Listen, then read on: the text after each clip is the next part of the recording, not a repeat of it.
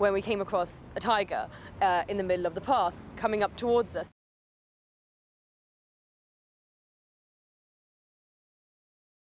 So he said, I'll just pop up and get my battery for the camera.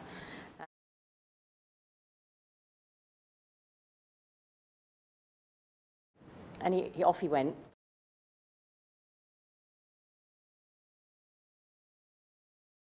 And so the guy in the restaurant said, just be careful, don't get too close.